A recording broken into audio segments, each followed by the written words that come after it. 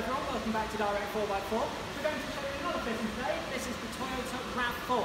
This one's actually a hybrid model, so you know that the uh, brackets will definitely fit that model as well. So if you follow me under the vehicle, you'll see how they're fitted.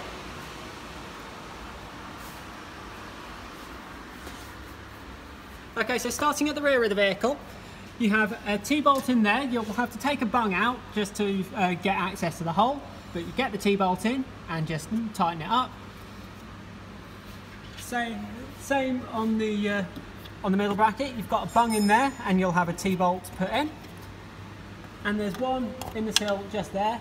Uh, again, you'll have to take the bung out to get the T-bolt in, and then you can tighten it all up.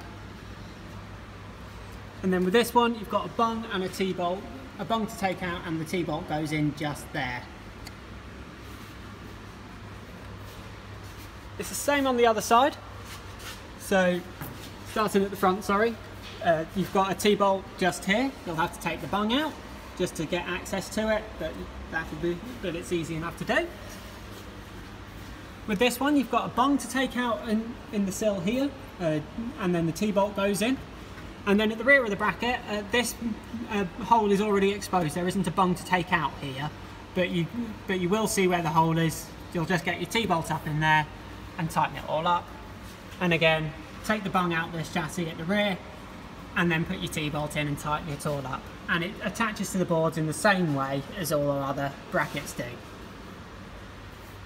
So that's it for this video. Thank you very much everyone for watching. If you have any questions about this fitting, you can always give us a call, visit our website or drop us an email. So that's it. Thank you very much for watching and goodbye from Direct 4x4.